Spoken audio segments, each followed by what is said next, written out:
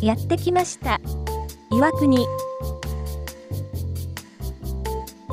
対岸に住む下級武士は、この錦帯橋を渡って出資した。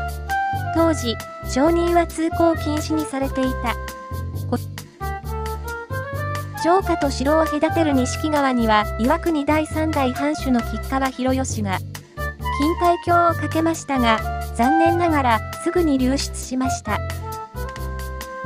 しかし、改良を加えて翌年再建された錦帯橋は、1950年9月に、生地や台風による洪水で流出するまで276年の間、掛け替えを繰り返しながら利用を保ちました。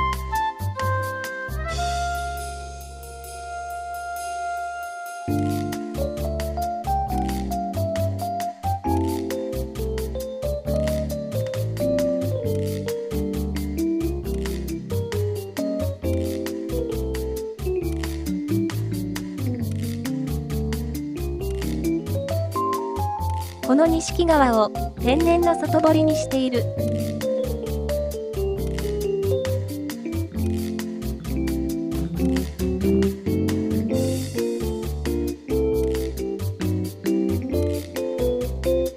岩国神や踊りの堀、お城時代は内堀、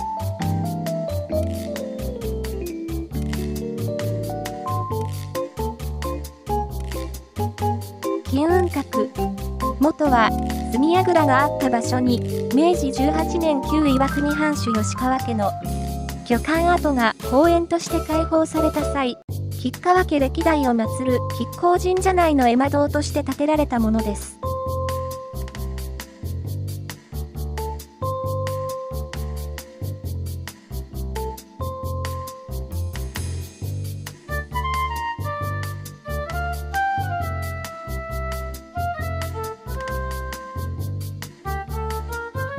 現在、踊り跡は筆行公園として整備されています。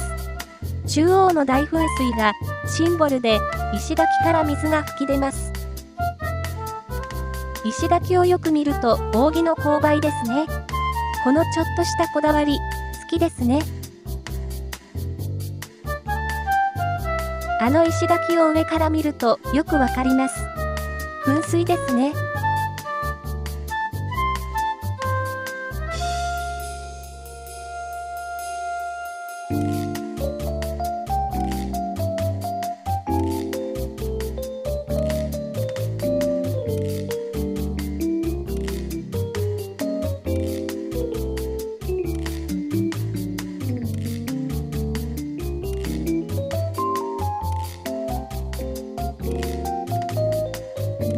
こちらは、白い塀の前は、堀があって上級武士の屋敷跡ですね。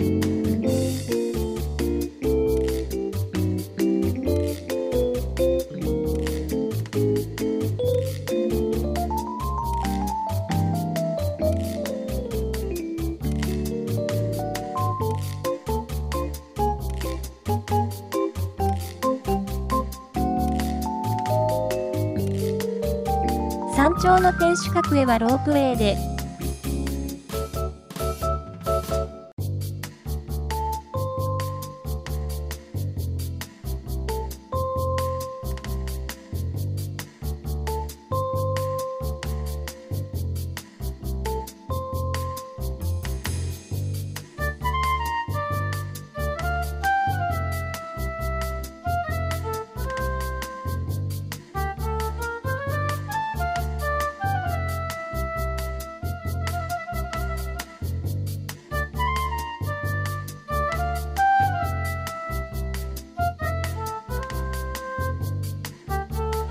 ロープウェイ山頂駅を降りて歩いていくと、岩国城まで約300メートル徒歩5分という看板があります。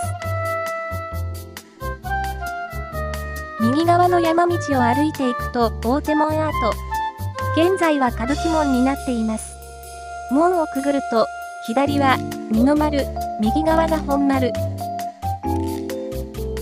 標高約200メートルの山頂に築かれた天守閣。しかし、築城後8年で一国一城制により取り壊され、現在の天守は昭和37年に再建されたものです。模擬天守は、麓から錦帯橋と合わせて見やすいよう、元の位置から30メートルずらして建てられた。背後に本来の天守台がそのまま残されている。灯籠型で張り出している変わった作りの天守ですね。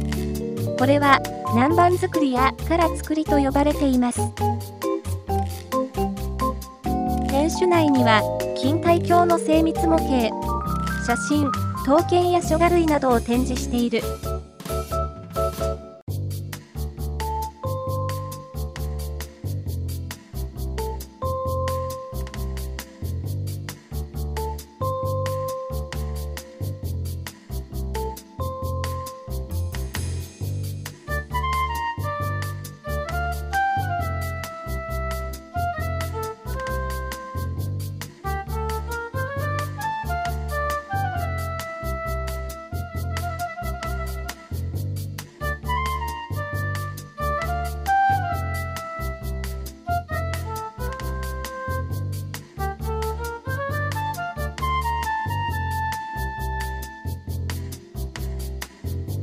天守閣からは、錦帯橋や錦川をはじめとする、岩国市を見渡すことができる。